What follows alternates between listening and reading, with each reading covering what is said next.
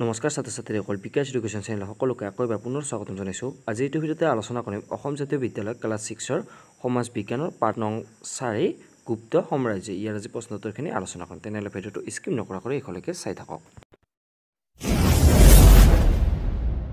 প্ৰথমে কৈছে যে একোটিকৈ বাক্যত উত্তৰ দিয়া। ইয়াৰ প্ৰথম ক নম্বৰ প্ৰশ্নটো কৈছে যে আমাৰ গুপ্ত ৰাজবংশৰ প্ৰতিষ্ঠাপক ৰজাজনৰ নাম কি?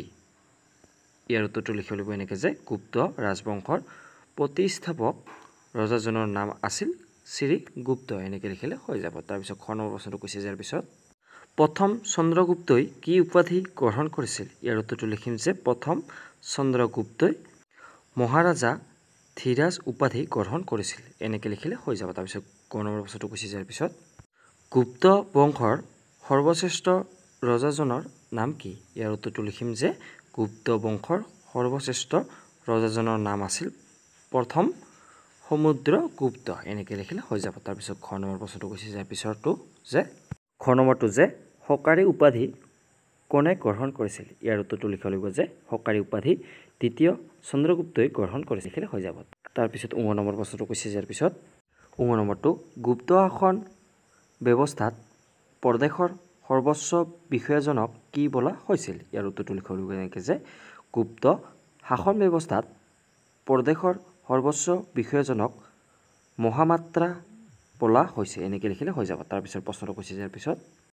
প্ৰথম নম্বৰ প্ৰশ্নটো কৈছে যে অজন্তা আৰু ইলোৰা ক'ত অৱস্থিত? ইয়াৰ উত্তৰটো লিখিব লাগিব যে অজন্তা আৰু ইলোৰা মহাৰাষ্ট্ৰৰ ঔৰংগাবাদ জিলাত অৱস্থিত। এনেকৈ লিখিলে হৈ যাব। তাৰপিছত বস্তুটো কৈছে যে ইয়াৰ পিছতো তৃতীয় নম্বৰটো যে ভাৰতৰ নিউটন বুলি কাক কোৱা হয়? ইয়াৰ উত্তৰটো লিখিলে আৰ্যভট্টক ভাৰতৰ নিউটন বুলি কোৱা হয় এনেকৈ লিখিলে হৈ যাব। তাৰপিছৰ প্ৰশ্নটো কৈছে যে ইয়াৰ পিছৰ পৰিগাজ নম্বৰটো যে পৰিগাজ নম্বৰটো যে মৃৎস কটিকম নাটকখনৰ লিখক কণ। ইয়াৰ উত্তৰটো লিখিব লাগিব যে মৃৎস কটিকম নাটকখনৰ লিখক শূদ্ৰক এনেকৈ লিখিলে বা এইখিনি লিখিলে হৈ যাব। তাৰপিছৰ প্ৰশ্নটো কৈছে যে ইয়াৰ পিছত চনটো যে গুপ্ত শাসন কালত দক্ষিণ ভাৰতৰ বিখ্যাত বন্দৰটোৰ নাম কি? ইয়াৰ উত্তৰটো লিখিব লাগিব যে গুপ্ত শাসন কালত দক্ষিণ ভাৰতৰ বিখ্যাত বন্দৰটোৰ নাম হৈছে কলিকট। এনেকৈ লিখিলে হৈ যাব। তাৰপিছৰ প্ৰশ্নটো কৈছে যে ইয়াৰ পিছত নিয় নম্বৰটো যে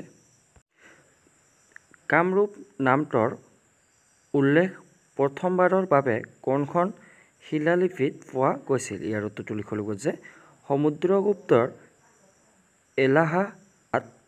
প্ৰশস্তিখনত প্ৰথমবাৰৰ বাবে কামৰূপ নামটোৰ উল্লেখ পাওঁ। এনেকৈ লিখিলে হৈ যাব। তাৰপিছত এনে কৈছে যে দুই নম্বৰটো যে এক নম্বৰ প্ৰথম প্ৰথম চন্দ্ৰগুপ্তই গুপ্ত সাম্ৰাজ্য গঢ় দিছিল লিখা। ইয়াৰ উত্তৰটো লিখিব লাগিব এনেকৈ যে চন্দ্ৰগুপ্তই ৰজা হৈয়ে মহাৰাজা ধীৰাজ উপাধি গ্ৰহণ কৰিছিল। তেওঁ সিংহাসনত উঠাৰ সময়ৰে পৰা গুপ্তাব্দ নামেৰে এটা নতুন বছৰ গণনা কৰা হৈছিল। ৰজা হৈয়ে তেওঁ নিজ ৰাজ্য বহলাবলৈ বিভিন্ন উপায় গ্ৰহণ কৰিছিল। উত্তৰ ফালে ৰাজ্য বহলাবলৈ তেওঁ শক্তিশালী লিচ্ছ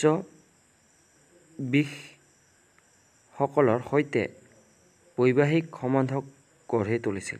তেওঁ লিচ্ছবি ৰাজকুমাৰী কুমাৰী দেৱীক বিয়া কৰাইছিল। ইয়াৰ ফলত চন্দ্ৰগুপ্তই বৈশালী আৰু পাটলিপুত্ৰ যৌতুকৰূপে লাভ কৰিছিল। নিজৰ শক্তিৰে সাকেত প্ৰয়াগ দক্ষিণ বিহাৰ আৰু বংগদেশৰ এটা অংশ জয় কৰিছিল।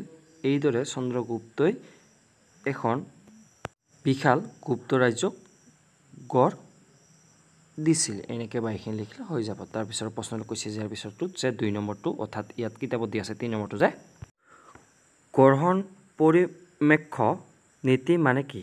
সমুদ্ৰগুপ্তই এই নীতি ক'ত আৰু কিয় প্ৰয়োগ কৰিছিল? ইয়াৰ উত্তৰটো লিখিব লাগিব এনেকৈ যে গ্ৰহণ পৰিমেক্ষ নীতি মানে হ'ল নিজ তলতীয়া কৰ কাটল আদি গ্ৰহণ কৰা। সমুদ্ৰগুপ্তই দক্ষিণ ভাৰতৰ ৰাজ্যবোৰ জয় কবি নিজে প্ৰত্যক্ষভাৱে শাসন কৰা নাছিল। তেওঁলোকক নিজৰ তলতীয়া কৰি ৰাখি কৰ কটাল আদায় কৰি আছিল। কাৰণ বিশাল সাম্ৰাজ্য শাসন চলোৱাত অসুবিধা হ'ব বুলি ভাবিয়েই সমুদ্ৰগুপ্তই দক্ষিণৰ ৰাজ্যবোৰৰ ক্ষেত্ৰত গ্ৰহণ পৰিমেক্ষ নীতি গ্ৰহণ কৰিছিল। এনেকৈ বা এইখিনি লিখিলে হৈ যাব। তাৰপিছৰ প্ৰশ্নটো কৈছে যে ইয়াৰ পিছৰটো যে তিনি নম্বৰটো অৰ্থাৎ চাৰি চাৰি নম্বৰটো যে কিতাপত দিয়া আছে যে নৱৰত্ন বুলি ক'লে কি বুজা? ইয়াৰ উত্তৰটো লিখি ল'ব এনেকৈ যে দ্বিতীয় চন্দ্ৰগুপ্তৰ বাসসভাত কালিদাস বৰামিহিৰ অমৰ সিংহ শংকু বৰচি বেতালভট্ট শপৰ্ণক ঘটক পূৰ্ব আৰু ধনস্তৰী এই নগৰাকী বিদ্বান লোক একেলগে নৱৰম্ভ বোলা হৈছিল। এনেকৈ বা এইখিনি লিখিলে হৈ যাব। তাৰপিছৰ প্ৰশ্নটো কৈছে যে পিছত চাৰি নম্বৰটো যে দ্বিতীয় চন্দ্ৰগুপ্তৰ ৰাজত্ব কালৰ বিষয়ে এটা টকা লিখা ইয়াৰ উত্তৰটো লিখি ল'ব এনেকৈ যে সমুদ্ৰগুপ্তৰ মৃত্যুৰ পিছত পুতেক চন্দ্ৰগুপ্তই ৰাজপাটত বহে। বুৰঞ্জী বিদায়সকলে এওঁক দ্বিতীয় চন্দ্ৰগুপ্ত বুলি কয়। এওঁ বিক্ৰমাদিত্য উপাধি লৈছিল। বৈবাহিক সম্পৰ্কৰ দ্বাৰা দ্বিতীয় চন্দ্ৰগুপ্তই নিজৰ সাম্ৰাজ্য বৃদ্ধি কৰিছিল। দ্বিতীয় চন্দ্ৰগুপ্তই গুজৰাট আৰু মালৱাৰ শকক পৰাস্ত কৰি সমৃদ্ধিশীল উজ্জয়িনী চহৰ দখল কৰিছিল। উজ্জয়িনী তেওঁৰ দ্বিতীয় ৰাজধানী আছিল। শকক পৰাজিত কৰাৰ পিছত শকাৰী উপাধি লৈছিল। তেওঁৰ দিনত চীন দেশৰ পৰ্যটক ফাহিয়ান ভাৰতলৈ আহিছিল। তেওঁ ভাৰতৰ বিষয়ে এটা সুন্দৰ টকা লিখি থৈ গৈছে। দ্বিতীয় চন্দ্ৰগুপ্তৰ ৰাজত্বকাল সাহিত্য সংস্কৃতি বিজ্ঞান আদি দিশৰ পৰা উল্লেখনীয়। তেওঁৰ বাচসভা কালিদাস বৰাহমিহিৰ অমৰসিংহ শংকু বৰকচি বেতালভট্ট শপৰ্ণক ঘটক পূৰ্ব আৰু ধনস্তৰী আদি নগৰাকী বিদ্বান লোকেৰে উজ্জ্বল হৈ আছিল। এওঁলোকক একেলগে নৱৰত্ন বোলা হৈছিল। নৱৰত্নৰ ভিতৰত কালিদাস খ্যাতি সকলোতে বিয়পি পৰিছিল।